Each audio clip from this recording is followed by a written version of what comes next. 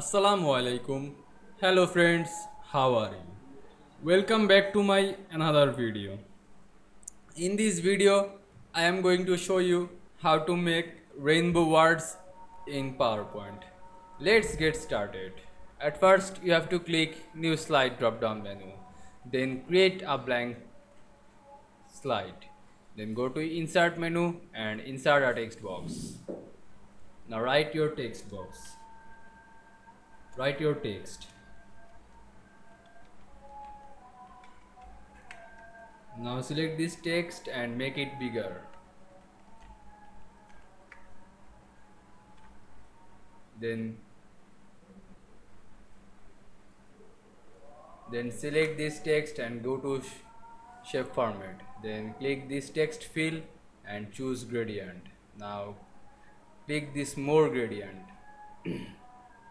click this gradient fill and you can see here are many stock. I make it 7 stock to rainbow color. This is 1 or 2 2 3 4 5 6 and 7 you can see here are 7 stock. Now I added color one by one. Please follow me. Firstly I choose red color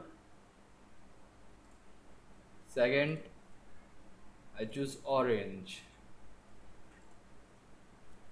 Third make it yellow. Fourth green.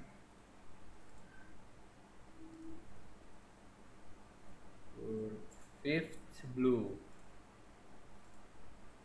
Sixth indigo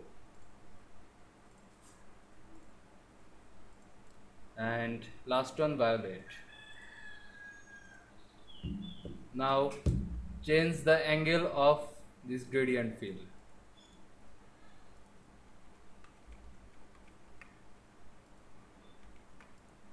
you can see I make rainbow words in PowerPoint very easily. I hope you enjoyed my video. Please like comment share and subscribe my channel. Thanks for watching